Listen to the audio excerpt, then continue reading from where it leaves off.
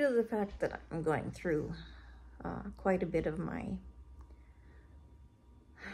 well, I'm struggling quite a bit with chronic fatigue syndrome.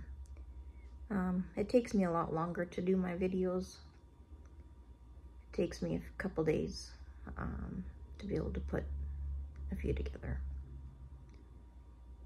And today I did, um, I would like to, and I'm going to talk to you about symptoms of chronic, chronic fatigue syndrome. Now that's not all, they won't be all of the symptoms. And if you guys um, that do have chronic fatigue or ME, if you want to put any extra symptoms that you have had in the um, comments, feel free.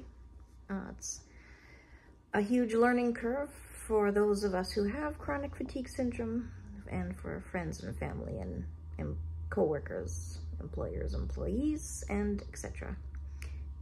Um, to understand what we're going through. So in a few minutes, I will be listing those symptoms that I have experienced myself.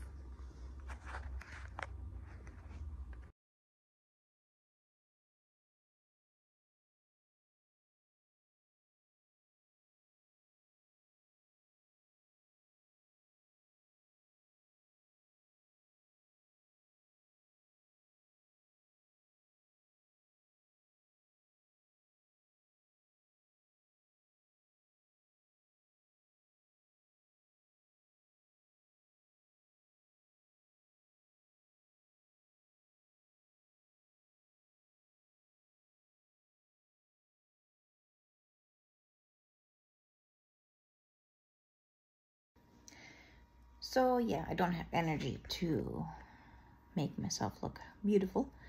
Um, although today is still July 31st, 2024. I was in bed one with the last video. Um, it's weird. Um, around 1.30, I kind of started feeling a little bit better. I've been just resting and watching videos and I finally decided to watch a movie just so that I can keep my mind off of things that I should be doing. Because if I don't do that, I all my brain will do is tire me out thinking about what I need to do. Um, apart from housework, but business-wise. So, yeah, I don't know what time it is right now, maybe 2.30 or something. Um, but yeah, that's where I am right now. I felt, my eyes still feel tired, but I don't feel like I can sleep. Um, I have a strong urge still for sugar. I have that urge every day. I want to get rid of that urge. Um, I just need to learn how. It's August 24, 21st. Um, when it comes to my CFS, um, today I feel a little bit Mm, not real energetic. Yesterday I slept until 1 o'clock or 10 to 1, something like that, which I haven't done in a long, long, long, long time. So, as in the video, I showed the symptoms. I showed me, uh, I started this video, taking videos probably Friday, so September 6th, I believe.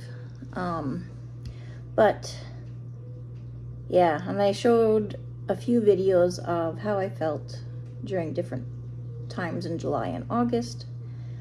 Um, each day I feel like I'm getting more strength, but every time I say that, the next day I'm toast because I usually end up overdoing it. And I know my doctor told me not to, but it's really hard not to when you feel good and you've got lots to do.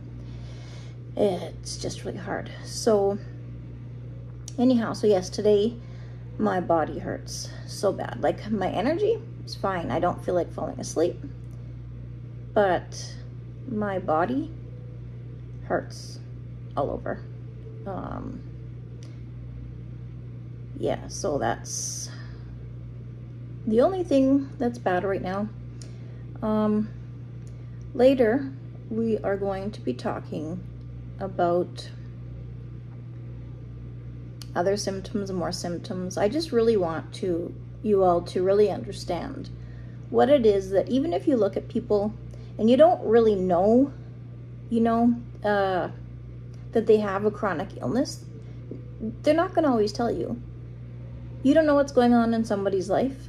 Um, and even if they do tell you, you know, I'm not feeling really well today, but they look fine, chances are they're not feeling well. It's just the way it is because it's on the inside. And we learn to mask, we learn to cover it up uh, when we can. There are times that we just can't, and you're not going to see us anyhow because we're going to be in the house, unless it's our family, of course.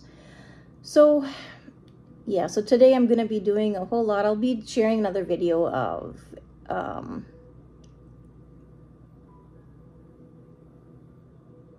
cleaning. You know, it takes me a lot longer today than it used to. It used to take me to clean my kitchen no matter how many dishes there were whether I had to wash them by hand or a dishwasher, it would take me maximum, you know, 45 minutes. And that was a nice, good cleaning, not just surface level cleaning. But now it will take me a good couple hours, maybe three hours, because I have to sit down in between. But anyhow, we'll see you again.